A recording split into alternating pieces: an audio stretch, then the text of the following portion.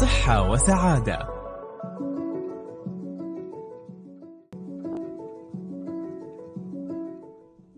السلام عليكم ورحمة الله وبركاته. أصبح الخير والسعادة وراحة البال.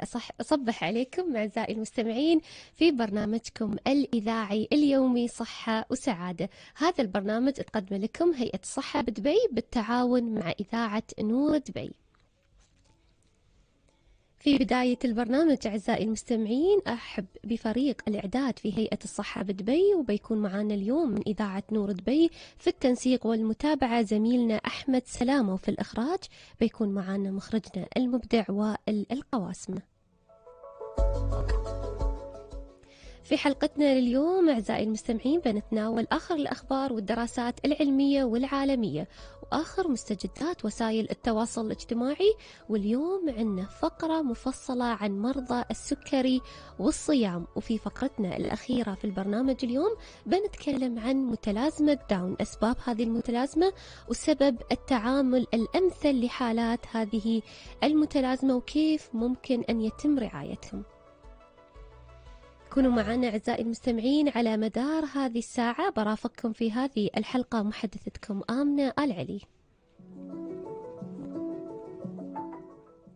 مثل ما عودناكم في برنامج صحة وسعادة نبدأ البرنامج بخبر أو دراسة سواء كانت محلية أو عالمية. دراستنا لليوم متعلقة في موضوع الريوق. فخلوكم معنا. يقول خبرنا لليوم اكتشاف علاقة بين التخلي عن وجبة الفطور وخطر الخرف.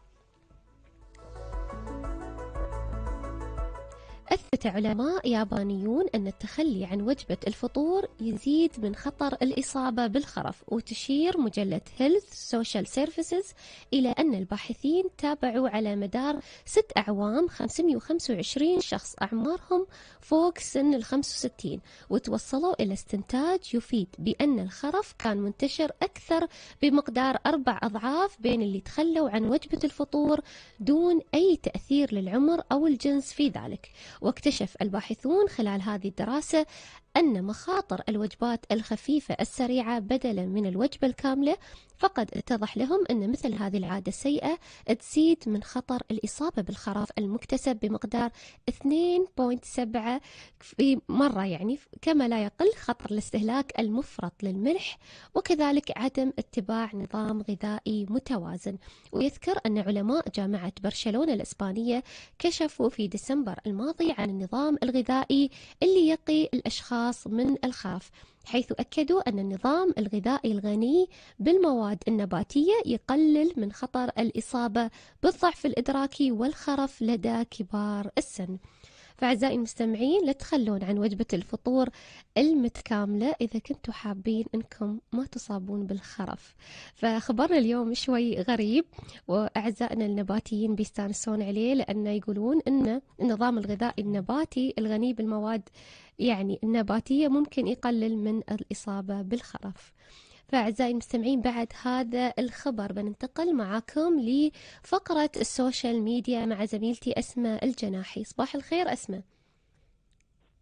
صبحكم الله بالنور والسرور عليكم وعلى كل المستمعين إذاعة نور البيت يا هلا فيك. أسماء خبرينا شو عندك من مستجدات في وسائل التواصل الاجتماعي. اليوم بعض الأشياء حطيناها في قنوات التواصل الاجتماعي ومنها خبرنا وخبرنا اللي كان يقول خلال عملية جراحية نادرة ومعقدة تمكن أطباء مستشفى دبي من إعادة التنفس الطبيعي لطفل خليجي ثلاث سنوات كان يعاني من انسداد تام للحنجرة منذ الولادة ونحن ننصح للجميع أن يدخلون قنوات التواصل الاجتماعي ويشوفون الفيديو كامل حول الحالة وأيضا مقابلة مع أسرة الطفل.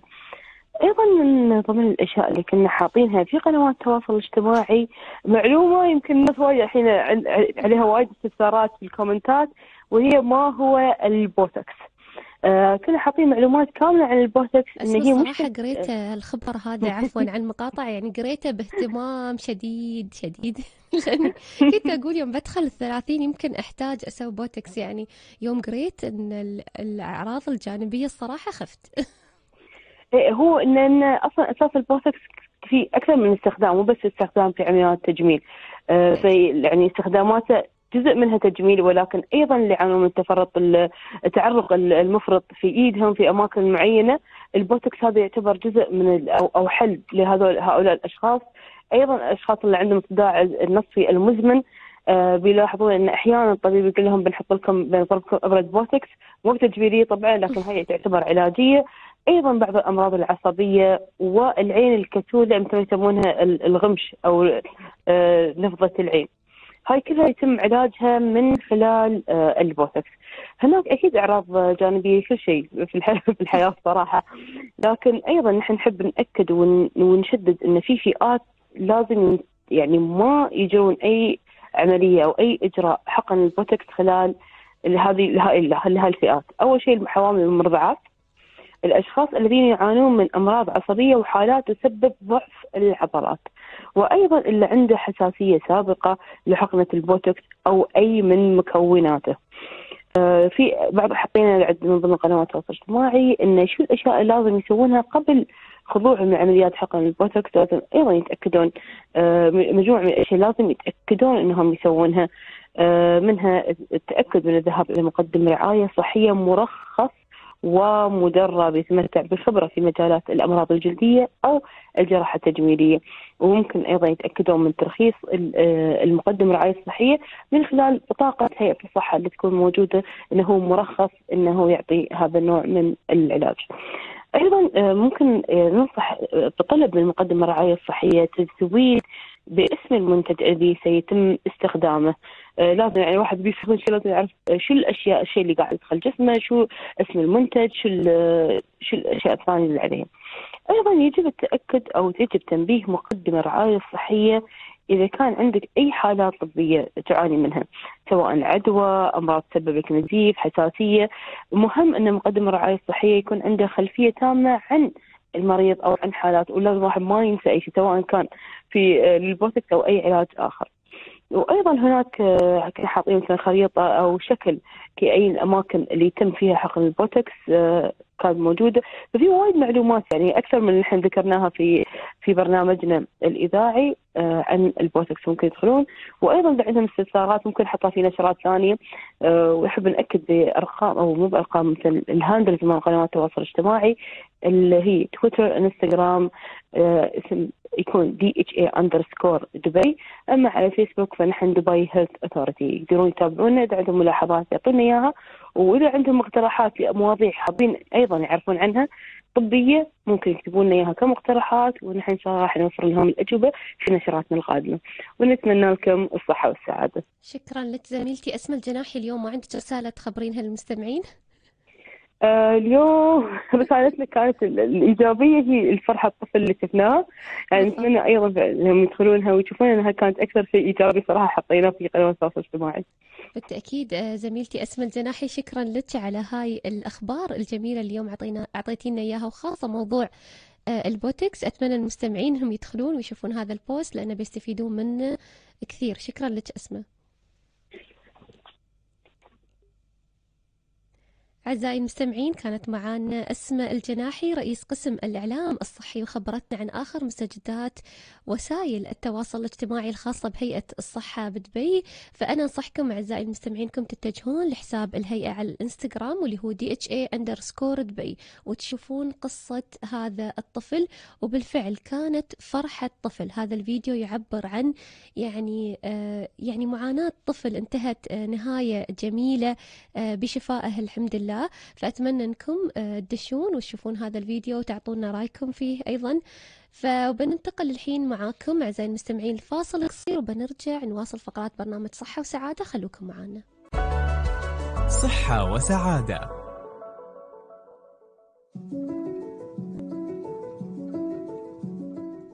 يا هلا ومرحبا فيكم من جديد في برنامجكم الإذاعي اليومي صحة وسعادة. هذا البرنامج تقدم لكم هيئة الصحة بدبي بالتعاون مع إذاعة نور دبي مثل ما عودناكم أعزائي المستمعين فقرتنا الأولى في برنامج صحة وسعادة دائما تكون حول التغذية.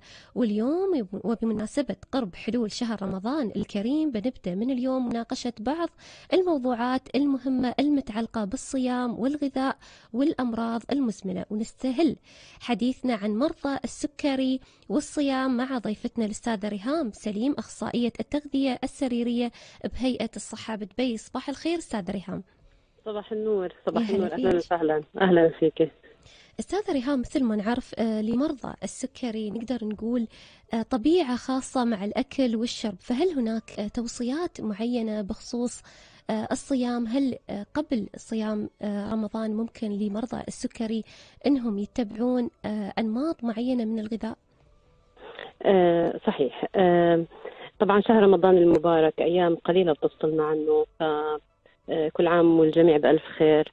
وشهر رمضان شهر خير وبركة. آه، آه، له فوائد روحية ونفسية وأيضا صحية. وهو فرصة ذهبية آه، يجب علينا اغتنامها حتى نحافظ على صحة أجسامنا.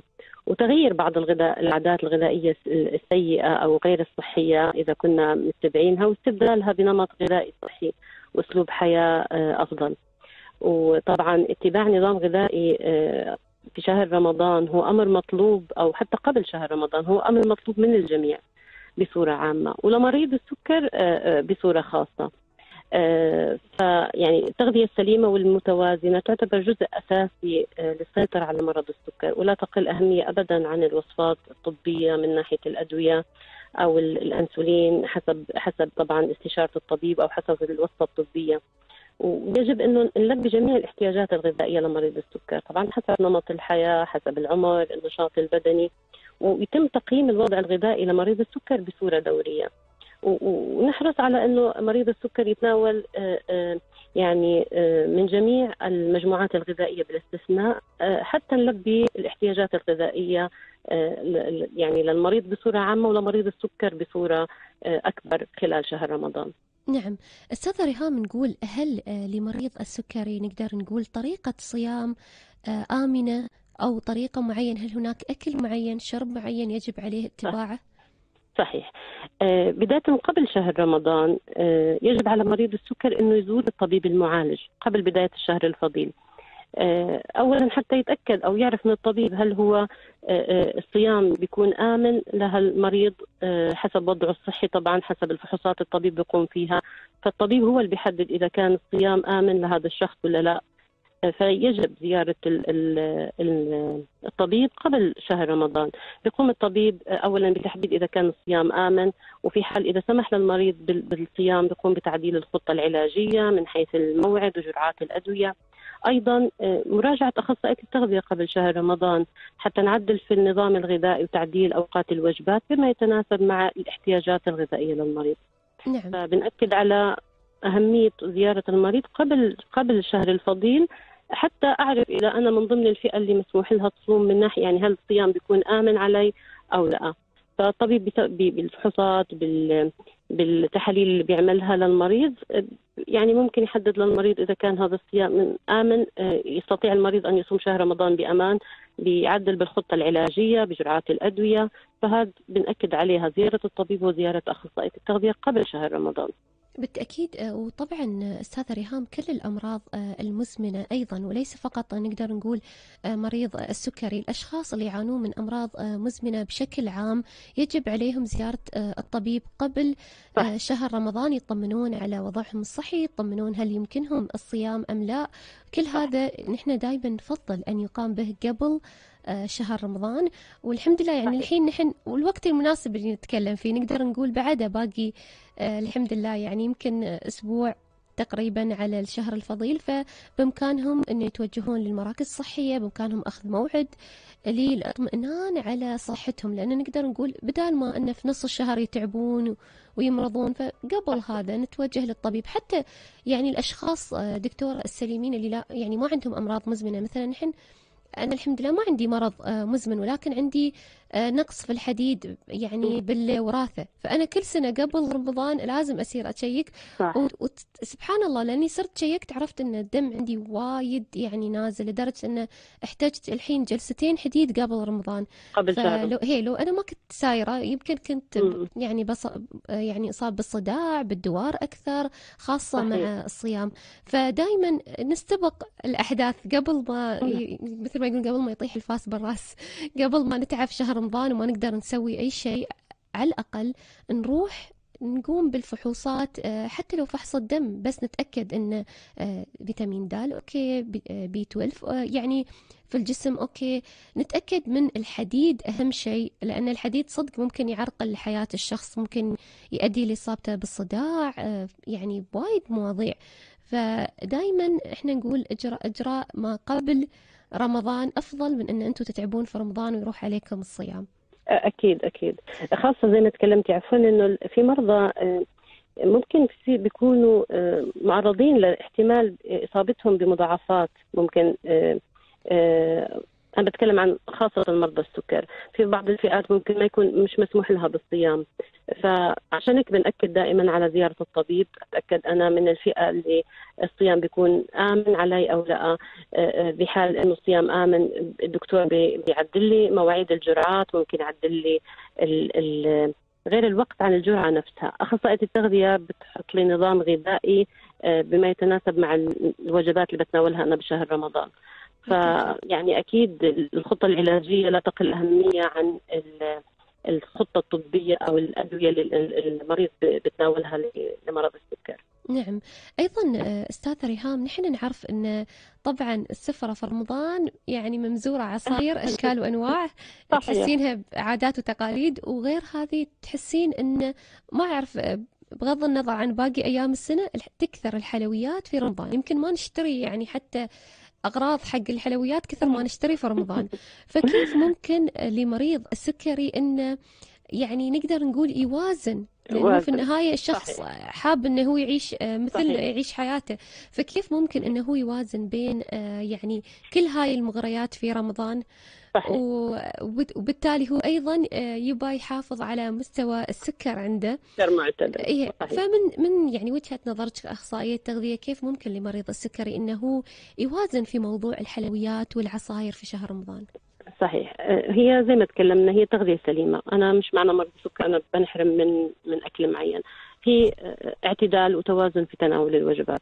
يعني في رمضان في وجبتين الأساسيات اللي هي الإفطار والسحور وفي ممكن وجبة أو ثنتين اللي هي ال snacks الوجبات الخفيفة. مثلا وجبة الإفطار. يعني بننصح بتعجيلها فور الأذان ما نأخرها لمريض السكر. بننصح بداية مثلا بتناول حبات آه، ثلاث حبات من التمر مع كوب الماء لأنه طبعا التمر بيحتوي على سكريات بسيطة وسهل الامتصاص بعد فترات أو ساعات طويلة من الصيام. تناول الشوربات الخفيفة اللي بتكون قليله الدسم مثلا زي شوربة الخضار. نقلل قدر الإمكان من تناول المقبلات المقلية والدسمة مثلا زي السمبوسة نستبدلها بالمشويات فرضا. المشروبات اللي هي العالية أو اللي بتكون مركزة بالسكر اللي نسبة السكر فيها جدا عالية هاي بدنا نبتعد عنها ممكن أصعد عنها ممكن بالعصير الفريش الطبيعي آه، نحرص على تناول الكربوهيدرات اللي هي محتوية على الألياف بتمد الجسم آه، بالطاقة وبتساعد على تنظيم مستوى السكر في الدم. آه، نحرص كمان على تناول كمية مثلا مناسبة من البروتينات زي الأسماك اللحوم الدجاج. ونحاول أنها تكون قدر الإمكان مشوية مش مقلية. من المجموعات كمان اللي بننساها المجموعات الغذائية اللي بننساها برمضان هي الخضرة والسلطة والفاكهة. بتكون منسية وزي ما تفضلتي بتصير اللجوء للحلويات أكثر. ما بدنا ننسى أنه نتناولها دائما باستمرار. آه، لأنها بتحتوي على الألياف بتحتوي على فيتامينز وعلى معادن. آه، لحماية الجهاز الهضمي وتنظيم مستوى السكر في الجسم. آه، نيجي مثلا لوجبة السحور بنأخرها شوي. بنتناول فيها البروتينات زي البيض والأجبان قليلة الدسم. نحرص على تناول نشويات مثلا بتحتوي على الألياف زي الخبز الأسمر. نتجنب الأطعمة المملحة اللي هي زي المكسرات أو التوابل المالحة. نشرب كمية مي كفاية يعني حتى نمنع تعرض أجسامنا للجفاف خاصة يعني في الصيام في الأجواء الحارة وساعات صيام طويلة. الحلويات هاي بدنا نقلل منها قدر الإمكان لأنه خاصة الحلويات العربية اللي بتكون فيها نسبة القطر أو الشيرة نسب عالية. ممكن أصعد عنها بحبتين أو ثلاث حبات فاكهة. بين فترة الإفطار أو السحور أو إذا اشتهيت آكل تكون كمية قليلة جدا أخذ مثلا قطعة. ما يعني ما أسمح لنفسي أتناول كميات كبيرة وبالتالي يرتفع عندي السكر. آه، ما بضر كمان أمارس الرياضه كمان مثلا من النصائح اللي بنعطيها خلال ساعات. بس ما تكون رياضات مجهدة يعني ممكن بعد وجبة الإفطار بساعتين أو ثلاثة أمارس الرياضة. آه، يعني الحلويات بدنا نخفف منها قدر الإمكان تحتوي على كميات عالية من السعرات الحرارية كميات عالية من الدهون بترفع السكر بصورة مفاجئة. وزي ما تفضلتي حضرتك إنه أنا بدي رمضان صحي ما بدي أنا يصير عندي أتعرض لمضاعفات أو مشاكل. فبدي أستمتع بالأكل أستمتع بالعبادات في هالشهر الفضيل بدون ما يكون في عندي مشاكل صحية. بالتأكيد. أيضا أستاذة ريهام إذا هناك نصيحة أخيرة حابة تقدمينها للمستمعين؟ آه، نصيحتي إنه شهر رمضان هو شهر الخير والبركة وفرصة ذهبية زي ما تكلمنا إنه نحافظ على صحتنا في هالج... في هالشهر الفضيل ونتبع نظام غذائي صحي. آه، شهر رمضان صح تكون في ما لذ وطاب من الطعام بس أنا ممكن آه، أخذه بفرصة إني أغتنمها أغير من عادات الغذائية اللي إذا كانت غير صحية قبل رمضان وأتبع غذاء عادات غذائية سليمة حتى يمر الشهر الفضيل بكل سلاسة وسهولة وصحة على على المرضى بصورة عامة ومريض السكر بصورة خاصة. بالتأكيد آه، أستاذة ريهام آه، مثل ما ذكرنا هذه آه، المعلومات المهمة عن مريض السكري والصيام دائما نقول الاعتدال ثم الاعتدال ثم الاعتدال في كل شيء سواء لمريض السكري أو يعني لو أو الأشخاص العاديين أيضا. الاعتدال ممكن يحل كثير من المشاكل. ما يصير لمريض السكر إنه يقول والله ما باكل عد ما باكل ولا ما بشرب ولا عشان السكر ما يرتفع. بعد هاي لا معلومات لا لا نشوف حوالي حوالينا الناس يتبعونها وهاي معلومات أكيد خطأ أستاذ ريهام. أكيد خطأ. يعني ممكن يعني زي ما ممكن يكون الإنسان عرضه لارتفاع في في نسب السكر في الدم في حال إنه كنسل وجبه أو لغى المجموعات الغذائيه ممكن يصير عنده هبوط في السكر. فهي دائما الاعتدال في كل شيء نتناول من المجموعات الغذائية ضمن حدود. عشان هيك أنا بأكد على زيارة أخصائية التغذية ل زيارة المريض السكر لأخصائية التغذية قبل شهر رمضان حتى نحدد الاحتياجات ونغير المواعيد بحيث إنه نلبي الاحتياجات الغذائية للمريض فنتجنب ارتفاع السكر وأيضا نتجنب هبوط السكر في خلال هذا الشهر الفضيل. نعم. شكرا لك أستاذة ريهام على هذه المعلومات القيمة اللي قدمتيها لنا في برنامج صحة وسعادة. إن شاء الله نلتقي فيك في شهر رمضان بمعلومات إن شاء الله. أجمل إن شاء الله. إن شاء الله إن شاء الله. شكرا. وتمنياتي بالصحة والسلامة للجميع إن شاء الله. شكرا لك أستاذة ريهام. سليم اختصاصية التغذية السريرية بهيئة الصحة بدبي على هاي على هالمعلومات وعلى وقتك الثمين شكرا جزيلا. مع السلامة. أعزائي المستمعين بنطلع معاكم فاصل قصير وبنرجع نتكلم عن متلازمة داون. خلوكم معنا. صحة وسعادة.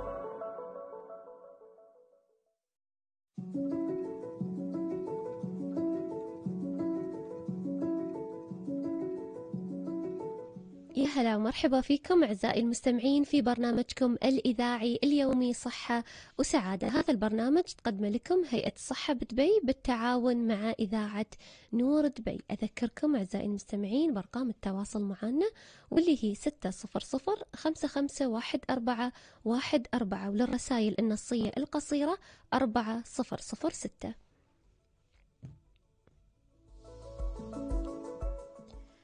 قبل يومين أعزائي المستمعين احتفل العالم باليوم العالمي لمتلازمة داون. هذا الاحتفاء الذي حددته منظمة الصحة العالمية لتسليط الضوء على هذه المتلازمة والتأكيد على أهمية توفير الرعاية الصحية والاجتماعية لأصحابها.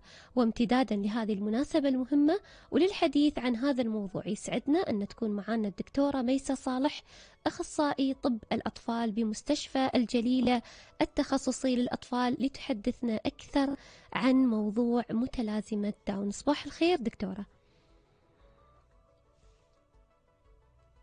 ألو؟ حضرتك. أهلا أهلا. نون مع كل مستمعين الأعزاء. أهلا فيك دكتورة. دكتورة آه، يعني سعيدين بتواجدك اليوم معنا مرة أخرى في برنامج صحة وسعادة.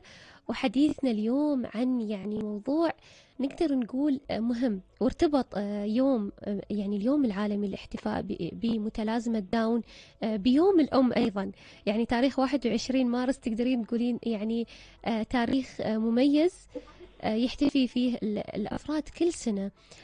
مثل ما شفنا أيضا زينا برج خليفة بالأمس بألوان دعما لمتلازمة داون.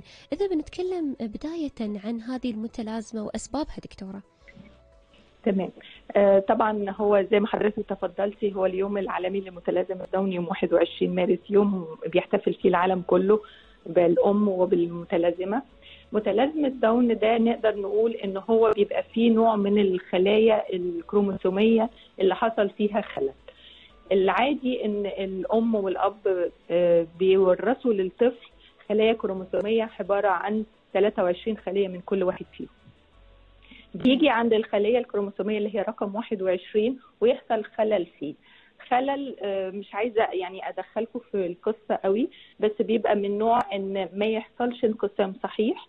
أو إنه يتركب فوقيها خلية بالغلط فيحصل مشكلة في الكروموسوم اللي هو رقم 21 لما بيحصل مشكلة في الكروموسوم ده هو اللي بيدينا كل اللي هو ال general feature أو السمات الخارجية لل Down اللي هو الشكل ال Down syndrome إلى جانب بعض الخلل اللي بيبقى فيه بعض الوظائف اللي موجودة في الجسم. مهم جدا إن أنا أعلق وأقول إن لو قلنا عالميا إيه نسبة ال Down syndrome مثلا لقينا إن هو واحد لكل 700 طفل وده رقم كبير مش رقم قليل. فمعنى كده إن داون سندروم ده مشكلة كبيرة أو مش هنقول عليها مشكلة إن هو موجود بكمية أو بنسبة عالية في المجتمعات كلها. فعلشان كده فعلا له أهمية إن إحنا نقدم له الرعاية الصحية اللي عاليه المستوى نعم. أه لو بنقول دكتورة هل هناك أسباب معينة لهذه المتلازمة؟ ما فيش سبب معين للمتلازمة دي لأن هو إحنا بنعتبره إنه خلل زي وقتي على الكروموسوم ده بدون سبب معين. بس في بعض الحاجات اللي قد تؤدي إليه. زي مثلا آه العمر الكبير للأم آه الزواج يعني أو الحمل المتقدم أو للأب ساعات بيحصل بيبقى فيه عرضة لوجود الخلل ده. في بعض الأحيان وما بنقدرش نعممه إن الخلل ده بيبقى موجود عند الأب أو الأم بس معلهوش أي عوامل فممكن يورثوه بعد شوية للاهل للطفل. لكن مفيش حاجة نقدر نمنع بيها الظهور المرض ده أو إن إحنا نغير الخلايا. عشان كده إحنا بنفضل دايما إن إحنا نعمل فحوصات خاصة في العمر الكبير للأم الحامل أو الأب علشان نقدر نتأكد لسلامة المولود اللي هو هيجي بعد كده. نعم. دكتورة ميسة بنقول إذا إحنا ياسين نتكلم عن متلازمة داون هل هناك مشكلات صحية أخرى ممكن أن يصاب بها الطفل المصاب بهذه المتلازمة؟ بالضبط. هو الفكرة كلها أن في غير الشكل الخارجي أو السمات اللي هي معروفة لمتلازمة داون اللي هي بتسبب من الكروموسوم خلل الكروموسوم 21 الأطفال دي بتبقى معرضة لمشاكل صحية أخرى. دايما بعضهم بيبقى عنده حاجة بنسميها عيوب القلب أو عيوب أو خلل في في القلب. فدي من ضمن المشاكل. في خلل أو مشاكل في عيوب الجهاز الهضمي يحصل لهم ارتجاع يحصل لهم انسدادات. خلل في المناعة خلل مثلا الأطفال دي بتبقى عندها مشاكل في التنفس وخاصة أثناء النوم فبيحصل لهم ما يسمى بانقطاع النفس أثناء النوم. بيبقوا معرضين أكتر للسمنة وكثرة القامة بيبقى معرضين لمشاكل في الحبل الشوكي لأن بيبقى في عندهم خلل في الفقرات العنقية. بيبقى معرضين أيضا لمشاكل إن هو يجي لهم بعض أنواع من السرطانات اللي هي اللوكيميا. بيبقى عندهم مشاكل في الغدد الصماء وخاصة بيبقوا أكتر عرضة إن هو يجي لهم مشاكل زي كسل الغدة الدرقية. لما بيكبروا بيبقى عندهم مشاكل طبعا زي الألزهايمر إلى جانب طبعا المشاكل الرئيسية اللي هي ممكن يبقى عندهم ضعف القدرات الذهنية. نعم. أيضا دكتورة حابين نذكر المستمعين بأرقام التواصل معنا ستة صفر صفر خمسة خمسة واحد أربعة واحد أربعة ولرسائل النصية القصيرة إذا عندكم أي استفسار أعزائي المستمعين على الرقم أربعة صفر صفر ستة. دكتورة إذا بنقول بنتكلم عن مستوى الرعاية الصحية والاجتماعية اللي توفرها يعني اللي يوفرها مستشفى الجليلة التخصصي للأطفال لحالات متلازمة داون. تمام. إحنا دايما بنوصي آه، سواء هنا أو في أي مكان الطفل الداون يبقى له رعاية خاصة سلوكية طبعا في المدارس وغيرها وبيبقى كمان محتاج آه، رعايات مهمة جدا. إحنا هنا بنوفر فيه عيادة داون آه، كل أسبوع يوم الاثنين مع دكاترة الجينات. في بعض الفحوصات اللي هو بيحتاجها الطفل يعملها. على مستوى كرات الدم البيضاء وصورة الدم الكاملة وكمان عشان خاطر نبقى من الأول خالص عارفين إن هو عشان عرضة للمشاكل بتاعت كسل الغدة الدرقية. فبنحب دايما نعمل له التحاليل دي هي عند عمر ست شهور وعند سنة وبعد كده سنويا. بيتعمل لهم طبعا ال- الأشعة على الفقرات العنقية. ففي متابعات دايما بتبقى دورية بيبقى في متابعات مع دكاترة التغذية علشان خاطر نقيهم من أمراض السمنة فبيبقى دايما في متابعات للأطفال دي دورية نعم. آه، أيضا آه، دكتورة ميسة يعني وردنا من أحد المستمعين سؤال يقول هل متلازمة داون تعتبر آه، وراثية؟ ده سؤال حلو جدا ويمكن أنا جاوبت فيه في الأول إن هو مش هنقدر نقول عليه موروث ولكن هو بيحصل لسبب ما. خلل في انقسام الخلية اللي هي على كروموسوم 21 آه، حسب النوع الخلل ده هو. بس في بعض ال- الأهالي بيبقى عندهم آه، الخلل ده ويورثوه ولكن ما فيش عندهم مظاهر. فمش هنقدر نقول إن هو ورث وراثي يورث ولكن هو خلل في انقسام الخلية. نعم. آه، إذا نقول يعني دكتورة يعني من وجهة نظر آه، شخصية المصابين بمتلازمة داون أطفال لطيفين جدا. يعني حضرنا لهم وحتى أذكياء ما شاء الله. آه، جداً. شفناهم في مسلسلات في أفلام. يعني آه، أنا حتى يعني آه، من فترة قريبة كنت أتابع آه، مسلسل آه، لبناني. كان آه، الطفل يعني اللي تقولين مثلا الدور الرئيسي لطفل آه، من متلازمة داون. يعني تقولين هذا الطفل اللي هم يقولون ممكن عنده آه، صعوبات معينة ولكن ما شاء الله عليه مثل دور في مثلا نقول فيلم كبير أو آه، مثل في آه، مكان معين حتى تشوفينهم أطفال ودودين لطيفين. يعني في كل مكان يتواجدون فيه اللي حوالينهم يكونون وايد يعني يعني يحبونهم وأشخاص آه، مميزين يعني ويتعلقون فيهم الأشخاص بسرعة. فهل هناك مثلا دكتورة نقول إرشادات طبية محددة للأشخاص اللي لديهم طفل آه، مصاب بمتلازمة داون ممكن إنهم يتبعون هذه الإرشادات في البيت لبيئة يعني صحية وطبية أكثر؟ هو الداون آه، حسب نوع اللي حصل في الكروموسوم ال 21 في بيبقى عندهم خلل في الذكاء وفي التحصيل وفي عندهم بيبقوا متماشيين مع المجتمع ببطء بسيط ويمكن كمان ذكائهم زي ما حضرتك تفضلتي وقلتي وإحنا كمان مش بس ممثلين ولكن بعض المذيعين في مصر دلوقتي بقى عندهم في واحدة منهم عندها Down وما شاء الله عليها بت- بتعمل لقاءات رائعة. فهم فعلا آه، من الأطفال وفي كتير جدا حتى في يوم العالمي ويوم اللي هو ال rare day disease اللي هو بيحتفل بيه كل سنة هنا آه، بيقدموا آه، الأعمال اللي بيعملوها الأطفال ال Down وبتبقى أعمال صراحة مبهرة بمعنى الكلمة. سواء من رسومات أو من تقديم بعض الفقرات وبعضهم بيبقوا فعلا عندهم تالنت نعم. إحنا بس الأهالي دايما يحطوهم في الخط الصحيح. يعني يعني يعني مثلا دور الأهل دكتورة عفوا على المقاطعة دور يعني كبير لأني أنا شفت آه، دور الأمهات اللي لديهم أطفال آه، بمتلازمة داون وتأثير الأم على إنشاء طفل مميز. يعني تخلقت من آه، يعني آه، هذه الصعوبة نقدر نقول لا ما نقول لهم إنها مشكلة صعوبة بسيطة. يعني طفلها مختلف قليلا عن الأطفال ولكنه يعني مميز. لو أنه مختلف ولكن جعلته طفل مميز أكثر يوم هي اهتمت فيه. وعطته يعني مثل ما نقول الأساسيات عشان يكون آه، بهذا التميز. آه، دكتورة أحد المستمعين آه، للأسف ما كاتبين يعني الاسم ولكن يقول ما هي الأسباب اللي تؤدي إلى ولادة طفل مصاب بالتوحد يمكن أخوي مع إحنا اليوم نتكلم عن متلازمة داون. يعني في ناس يمكن يخلطون دكتورة بين بين المرضين. بالظبط الحاجة بس عشان أكمل لحضرتك نعم. هنا حتى هنا الدولة ابتدت تراعي جامد جدا الأطفال اللي هم ال Down. العالم كله وعاملين اسوسيشنز باسم ال Down syndrome. آه، بقوا هم دلوقتي جزء من ال mainstream school. بعض الأطفال بيحتاجوا shadow teacher علشان خاطر تساعدهم في التحصيل والبعض الآخر بيندمجوا أو الاندماج. هو ده أهم حاجة إن أنا ما بعملش طفلي على إنه عنده إعاقة ولكن أعامله على إنه طفل ممكن يندمج في المجتمع.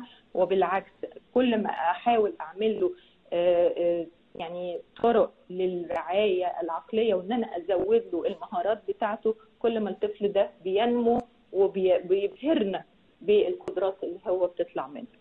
نعم. آه، دكتورة إذا بن ذكرنا نحن أن هل هناك إرشادات معينة للأهالي هل هناك أيضا دكتورة نصايح تقدمينها للأمهات اللي يسمعونا الآن ويمكن لديهم طفل أو لديهم أخ أو لديهم ابن أخت مصاب بمتلازمة داون. أنا متهيألي الاندماج هو أهم حاجة إن أنا أتقبل الطفل وأخليه مندمج مع العائلة في في مشاويري في حالاتي في كل حاجة. الطفل يبقى مندمج في المجتمع أعلمه وأحاول أساعده على قد ما أقدر. إحنا عارفين إن هو عندهم أقل شو شوية آه، يعني نمو ذهني. فأحاول أنمي المهارات بتاعته على قد ما نقدر بحيث إن هو يبقى كوبينج مع المجتمع ويبهرنا بإنجازاته. نعم بالتأكيد آه، دكتورة ميسة صالح أخصائي طب الأطفال بمستشفى الجليلة تخصصي الأطفال. آه، شكرا لك آه، على هاي المعلومات الجميلة اللي قدمتيها لنا عن متلازمة داون مشاركتنا. طبعا هذه التفاصيل ودكتورة لو أحد المستمعين حاب يعرف ممكن أنه يتوجه لي دكتورة قلتي لنا مستشفى الجليلة تخصصي الأطفال كل اثنين عندكم عيادة متلازمة داون؟ أي بالضبط بيتواصل وياخد موعد. عن طريق الرقم اللي هو المواعيد في مستشفى الجليلة وإن شاء الله هيبقى أمورنا طيبة بإذن الله. إن شاء الله. شكرا لك دكتورة ميسة على هذه المعلومات الجميلة ونلتقي فيك إن شاء الله في حلقات أخرى في برنامج صحة وسعادة. أهلا بحضرتك أهلا بحضرتك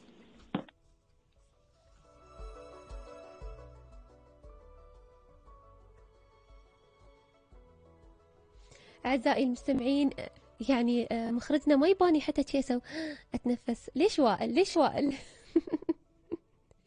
آه، أعزائي المستمعين يعني يمكن اندمجت مع آه، موضوع متلازمة داون. مثل ما ذكرت الدكتورة الخرافة تقول إن متلازمة داون متلازمة وراثية ولكن لا يتم توريث متلازمة داون حيث أن السبب الرئيسي هو على ذكر الدكتورة خطأ في انقسام خلايا البويضة أو الحيوانات المنوية أو عند تكون الأجنة. فأعزائي المستمعين للي عندهم أطفال يعني آه، عندهم متلازمة آه، داون ذكرت لنا الدكتورة أن الاندماج هو الحل الأنسب لهؤلاء الأطفال عشان يعيشون حياة صحية وسعيدة في مجتمعهم.